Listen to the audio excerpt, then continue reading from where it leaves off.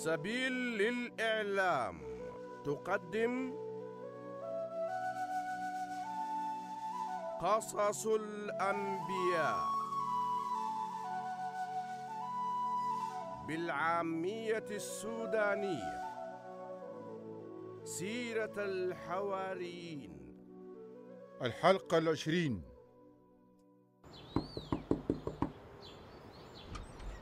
ازيك خالتي صفية أهلا أهلا وسهلا أهلا كيف إن شاء الله بكم كويسة؟ كيف حالك أخبارك ان شاء الله كويسة. الحمد لله. أنا في الله الحقيقة قلقت. عليك شديد. امس شفتك في المستشفى ما عليك؟ إن شاء الله خير. والله كنت تعبانة شوية يا منى يا بنتي لكن الحمد لله حسيت بخير معلش. نحن متعبين. لا لا ابدا ما في أي تعب. يلا منتظرين قصصك الجميلة. إن شاء الله. في المرة اللي فاتت قلنا إنه بولس شكر الحاكم ووقف عشان يدافع عن نفسه. وطلب من الحاضرين يسمعوا كلامه بتركيز. وبدأ يتكلم وقال في الحقيقة بني إسرائيل كلهم بيعرفوا سيرتي وبيعرفوا أني نشأت في القدس اللي استغريت فيها بعد داك مع إني مولود في طرسوس. إذا هم بيعرفوني من زمن طويل جدا. وإذا كانوا صادقين ممكن يشهدوا ويوضحوا إني كنت مؤمن بأشد مذاهب بني إسرائيل التزاما بالتوراة. لأني كنت بنتمي لطائفة الفريسيين. والليلة أنا بتحاكم لأني مؤمن بأنه الله قادر بتحقيق وعده لأجدادنا بأنه حينجيهم بعد بعثهم من القبور. والوعد ده هو اللي بتنتظر تحقيقه قبائلنا ال 12 اللي بيعبدوا الله بالليل والنهار. وثقتي بالله في تحقيق الوعد ده هي السبب في الاتهامات الموجهة ضد ودي الوقت. بعد إذنك يا جلالة الملك. أنا بسأل كل المخالفني سؤال محدد وواضح إنتوا ليه ما بتصدقوا إنه الله بقدرته بيبعث الأموات من جديد؟ الغريب أنا ذاتي في البداية كنت واقف ضد الإيمان بعيسى الناصري وكنت شايف إنه من واجبي لازم أعرض المؤمنين به وبشدة كمان. وفعلا وقفت ضدهم في القدس بتفويض من رؤساء الأحبار شيوخ الدين وقبضت على جزء منهم ووديتهم السجن. وكنت بأيد قرار المجلس لما يحكم على أي واحد منهم بالإعدام. وكنت بمشي لبيوت عبادتنا عشان أزيهم وأجبرهم على إهانة رسالتهم وصاحبة. وكنت متعصب ضدهم لدرجة إني سافرت لخارج البلاد كمان عشان أطاردهم وأضطهدهم. عشان كده يا جلالة الملك في مرة أخذت تفويض كامل من رؤساء الأحبار وسافرت لدمشق عشان أمشي أقبض على أتباع عيسى وأجيبهم للسجن. وفي الظهر أثناء سفرتي ديك ضوى قدامي وقدام الناس اللي كانوا معاي نور لامع أقوى من نور الشمس. ووقعنا كلنا في الأرض. وبعد ذاك سمعت لي صوت بيقول بلغتنا شاول يا شاول أنت ليه بتضطهدني؟ أنت بتقيف ضد إرادة الله بدون حيلة وما حتقدر تقاومه وأنا قلت له أنت منو يا سيدي؟ وجاوبني وقال لي أنا عيسى. وأنت بتضطهدني لما تضطهد اتباعي دلوقتي قوم اقيف على حيلك.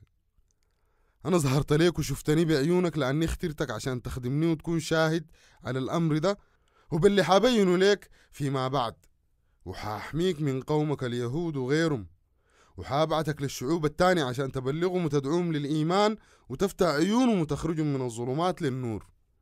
وتحررهم من سيطرة الشيطان. وترشدهم لطاعة الله وبإيمانهم بأن المسيح مختار الله. الله حيغفر لهم ذنوبهم ويكافيهم بنصيبهم في حياة الخلود مع خصاهم بالصلاح. عشان كده يا جلالة الملك أنا استجبت وما وقفت ضد الأمر ده. وبديت بتبليغ دعوة الهدى في دمشق وبعدها في القدس وفي منطقة يهوذا كلها ووسط الأجانب برضو. ودعيت كل الناس اللي أرشدتهم للتوبة واتباع الطريق الغويم اللي بيوري إنهم تابوا فعلا. عشان كده بني إسرائيل قبضوا علي في بيت الله وحاولوا يقتلوني. لكن الله بفضله حماني منهم لغاية اللحظة دي. وأنا هسه واقف هنا وببلغ في الرسالة دي لكل الناس. العظيم منهم البسيط. وأنا حاقول نفس الكلام اللي قاله سيدنا موسى وباقي أنبياء بني إسرائيل عن المسيح. بأنه حيقاسي الآلام ويموت ويكون أول واحد يبعثه الله من الموت حي للأبد ويرشد أمته وباقي الأمم لنور الهدى.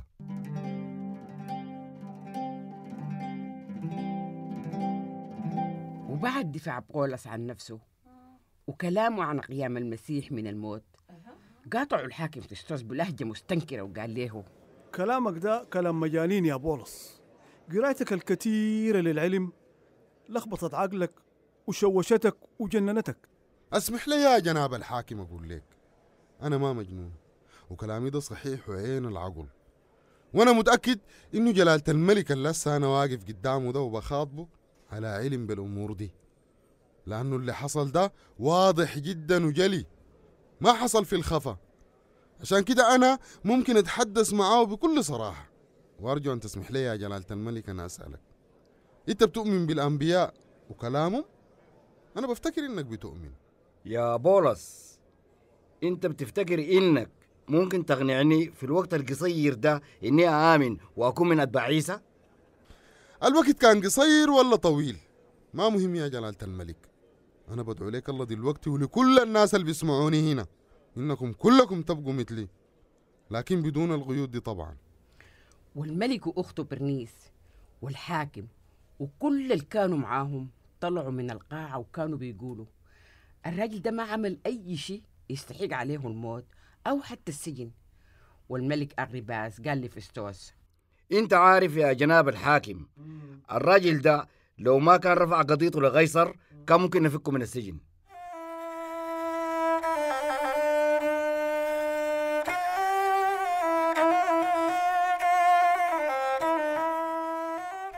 أها وبعد مشاورات الحاكم فيستوس قرر إنه يرسل بولس عن طريق البحر الأبيض المتوسط لقيصر في روما ومع بعض المساجين الآخرين وبحراسة. وكان رئيس الحراسة ضابط من كتيبة القيصر اسمه يوليوس. والضابط ده والمساجين وحراسهم. ركبوا سفينة كان موطنها الأصلي ميناء أدراميت لكن السفينة دي كانت راسية في ميناء قيصرية وتحركت منها لبعض موانئ منطقة إيسيا. وكان من ضمن الركاب برضو بعض أصحاب بولس ومنهم لوغا كاتب القصة دي وأرستريكي المقدوني اللي كان من مدينة تسالونيكي تحديدا. وفي اليوم الثاني السفينة دي وصلت ميناء صيدا والضابط اللي كان مسؤول من الحراسة كان بيعامل بولس معاملة حسنة. عشان كده سمح له بأنه يزور زملائه وأصحابه في صيدا وياخذ منهم الحاجات اللي بيحتاج لها ومن ميناء صيدا السفينة وصلت الإبحار لكن الرياح كانت معاكسة. عشان كده السفينة أبحرت محاذية لشواطئ قبرص عشان ما تكون في مهب الريح. واصلت السفر في مناطق كليكية وبمفيلية لغاية ما وصلت ميناء ميرا في منطقة ليكية وفي ميرا يوليوس الضابط المسؤول من الحراسة عرف إنه في سفينة تانية جاية من الإسكندرية في طريقة لإيطاليا. قاموا غيروا السفينة الأولى وركبوا السفينة دي وسافروا. والسفينة دي أخذت لها أيام لأنها كانت ماشية بطيء جدا بسبب الريح طبعا اللي منعتها ترسى في ميناء كنيدوس. والسفينة واصلت رحلتها ومرت بشبه جزيرة سلمونة بمحاذاة شواطئ جزيرة كريت. وبصعوبة وصلت لمكان اسمه المواني الحسنة قريب من مدينة لسائية. ولأنه السفينة تأخرت تأخير شديد في مواعيدها والسفر بالبحر بقى خطر لأنه موسم العواصف والرياح الشديدة كان داخل وكان ده بعد وقت صيام بني إسرائيل. عشان كده بولس نصح وترجى ضابط الحراسة والقبطان وصاحب السفينة وقال لهم أسمعوا يا جماعة بكل صراحة أنا شايف إنه مسألة السفر دي بقت صعبة شديد وفيها خطورة كبيرة مش على السفينة والبضاعة وبس دي حتى فيها خطورة على أرواحنا إحنا دي ذاتنا. الضابط كان مقتنع بكلام قبطان السفينة وصاحبه وما اهتم بكلام بولس خالص ولأنه الميناء دي ما كانت صالحة عشان يقضوا فيها فترة الشتاء. الأغلبية شافت إنه من الأحسن إنه السفينة تواصل السفر لميناء فينيكس في جزيرة كريت. لأنها كانت أقرب ميناء آمنة ليهم عشان يقضوا فترة الشتاء فيها.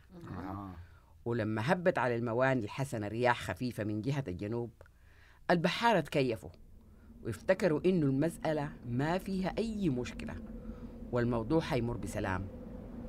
وواصلوا الإبحار في اتجاه الغرب من كريت. لكن فجأة هبت من الجزيرة رياح قوية جدا. وعاصفة اسمها العاصفة الشمالية الشرقية. والسفينة ما قدرت تقاوم العاصفة دي والبحارة استسلموا وما كانوا حتى عارفين إنه السفينة متجهة على وين. والسفينة مرت قريب من جزيرة صغيرة اسمها كودا والبحارة بعد الجهد والصعوبة قاموا بتأمين قارب النجاة ورفعوه فوق السفينة وربطوا الحبال حوالين السفينة عشان يأمنوها. وخافوا من إنها تصطدم بالتلال الرملية في خليج السدرة اللي هو خليج سيرت في ليبيا حاليا. عشان كده قاموا نزلوا الشراع وخلوا السفينة سايرة بدون مقاومة. والعاصفة بقت شديدة لدرجة إنه في اليوم الثاني البحارة بقوا يرموا في بعض الحمولة من السفينة في البحر عشان يخففوا وزنها. وفي اليوم الثالث الوضع بقى أصعب وقاموا رموا بعض معدات السفينة ذاتها. ومرت أيام وركاب السفينة وبحارتها. بقوا ما بشوفوا الشمس ولا النجوم والعاصفة كانت بتهب بشدة وخلت الركاب والبحارة بتاعين السفينة. خايفين جدا ومهمومين لدرجة إنهم فقدوا أي أمل في نجاته ووقفوا الأكل لمدة طويلة. في الوضع الحرج ده بولس قام خطب فيهم وقال لهم أها أها دلوقتي دلوقتي شايفين النتيجة يا جماعة؟ مش كان أحسن لو كنتوا سمعتوا نصيحتي؟ مش كان أحسن لو كنا قعدنا في المكان اللي كنا فيه ده فترة عشان نسلم من الخطر ونتفادى والله- الخسارة والله صح والله. ودلوقتي بعد كل اللي حصل ده. أنا آي. بقول لكم اطمنوا. الله يطمنك. ما في أي زول منكم حيغرق. الله يطمنك. لكن السفينة دي حتتكسر. أنا بقول لكم الكلام ده لأنه الله سبحانه وتعالى. اللي بعبده وبامن بيه بس لي امبارح بالليل ملك. وطمني. قال لي ما تخاف يا بولس. انت بالتأكيد حتصل وتقيف قدام القيصر. والله حينجيك وينجي كل المسافرين معاك من الغرق وأنا ثقتي بالله كبيرة جدا. وعلى يقين إنه حيحقق وعده. وحنصل بعونه لواحدة من الجزر. أها يا جماعة دي هي نهاية الجزء العشرين اللي هو بالمناسبة الجزء قبل الأخير. آه شكراً يا خالتي الله يخليك المرة الجاية حكمل لكم سيرة الحواريين تحية زروق